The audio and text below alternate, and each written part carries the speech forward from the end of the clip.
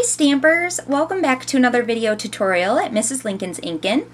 Earlier on my website this week, I posted this flower pot card to my blog and um, I wanted my flower pot to just go directly on an average size four and a quarter by five and a half base.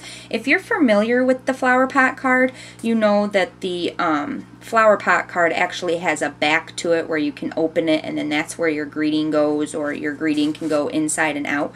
But um, I wanted to just have my flower pot card on my base. So there's nothing on the back of my card. You could most definitely put a piece of cardstock if you had a larger greeting or a longer note that you wanted to write. But essentially what it is is when you pull the flowers out, there is where you can put your little note or your greeting. And then you just stick it back in here and when it's, you know, not opened, it just looks like a really pretty flower pot. So let's go ahead and get started on how I made this pot. First, what you're going to need is a piece of cardstock. I'm using the Calypso Coral today. And this is cut at three and a half by five and a half. And we need to do some scoring. So we need to get our paper trimmer out. And I'm going to be using the light gray blade. Let's see if I can move you a little bit if you can, so you can see better. And what we're going to do is we need to make our first score mark at one and a quarter. So right there on the top is one and a quarter. Now, normally what you would do in the original flower pot card, which I'll post um, the directions of that card on my blog too, um, the dimensions and everything. But with this card, instead of doing cutting um, to get our diagonal right here, we're actually going to be doing some scoring. So let me see if I can move you a tad bit closer just so you can see what we're doing here.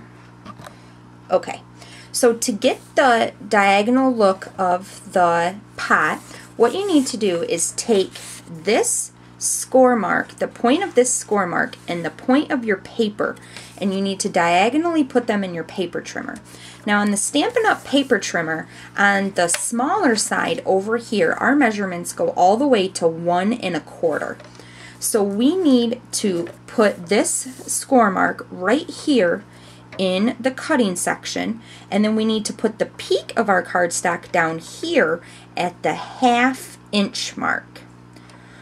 So we just diagonally do that right there, close this, and then make a score line, making sure to use the light gray um, blade or else you're going to cut it.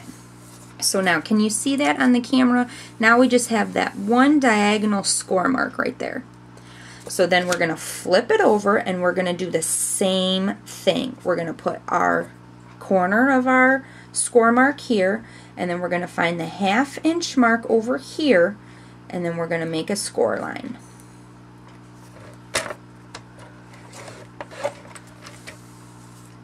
So now it looks like that.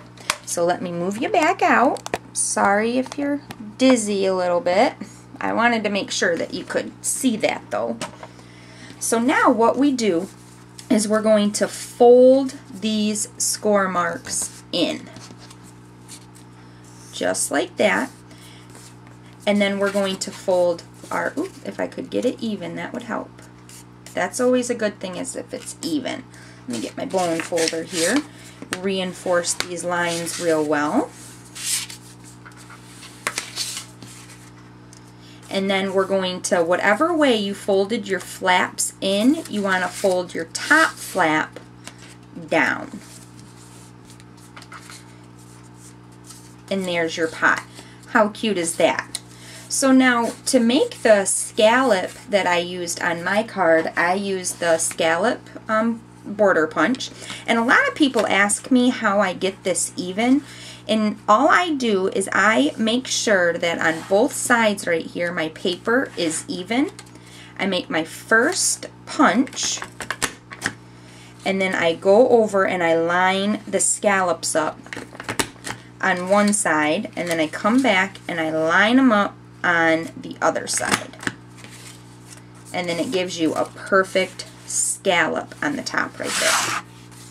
Cute. Okay, And this score line here is still not working with me here. So let me just, there we go. Okay. So now, for the base of my card, I decided to use a piece of crumb cake, and this is just cut at four and a quarter by five and a half, and I took my sponge and crumb cake ink, and I sponged all around the edges just to give it some depth. And so now see, this flower pot is going to go right here on the card, just like that. So I'm going to take my snail, and again, as always, I would use red adhesive adhesive um, sticky strip or even your Tombow glue, um, but I'm just going to use snail right now for the video. And you want to put snail down there on those little tabs, and that's what's going to hook your flower pot to your card.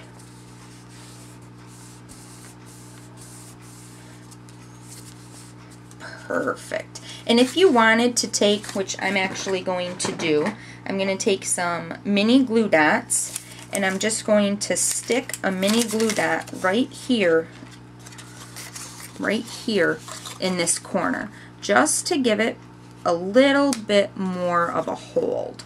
But you don't want to put snail or anything there because then you're not going to be able to get your inside greeting in. So you want to make sure that you put your glue dot all the way to the side. There we go, that's better.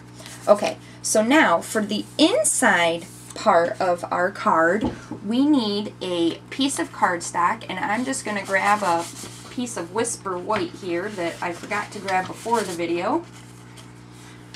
Alright, a piece of Whisper White, or whatever color you want for the inside. And this needs to be cut at two and a quarter by five. So it's not a very large place to put a greeting, but that's okay because you can still put a greeting on the back if you'd like. So now see, now the card fits in there perfectly. Okay, so now before we go to decorating our inside piece, to finish off our little lip here, I'm going to take my Early Espresso Baker's Twine and I'm just going to get a whole bunch off here. I'm going to take my mini glue dot again. And I'm going to put the edge of my baker's twine right here on my mini glue dot. Just like that. Then I'm just going to wrap this around as many times as I want or until I get the look that I want. And right now I'm just wrapping. I don't want it to necessarily have a design or anything. I'm just wrapping. And I think I want three wraps right there. There we go. That looks good to me. So I'm going to bring this back over to my glue dot that I put down and I'm going to stick it down and then I'm just going to cut off the excess take my mini glue dots again. There's a lot of glue dots in this project. And I'm going to stick them right here on my flap right there. And, oops, right here on the other side of the flap. Get this even. There we go.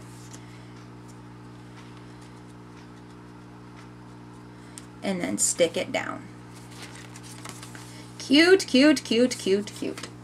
Okay, so now to decorate your inside of your card, what I like to do is I like to stick my greeting into my card and I like to take a pencil and make a line because then I know that my flowers or whatever you know I'm using to decorate it, leaves or anything, can't go below that line.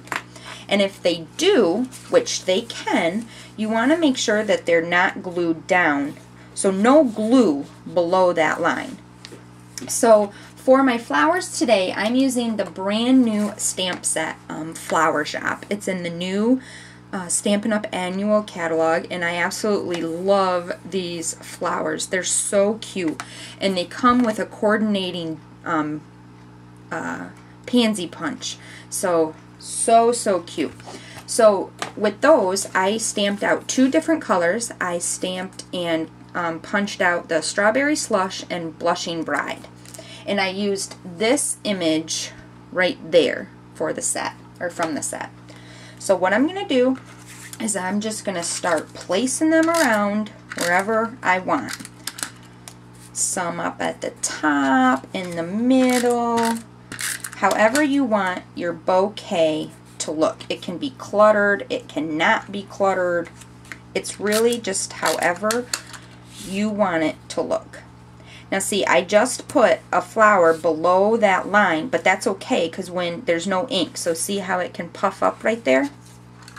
So no worries that the actual flower is below the line. Just no sticky.